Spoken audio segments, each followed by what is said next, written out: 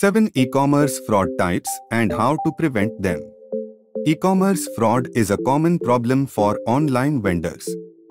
Types of e-commerce fraud include 1. The classic fraud 2. The chargeback fraud 3. Account obtaining fraud 4. Fraudulent interception 5. The triangulation fraud 6. Card evaluation fraud 7. The refund fraud. Measures to prevent e-commerce fraud include daily order amount cap, adhering to PCI, carefully analyzing risky orders, and ensuring HTTPS use. Employing well thought out procedures and tactics is crucial to stop e-commerce fraud. Adding great search to your e-commerce site can also help prevent fraud.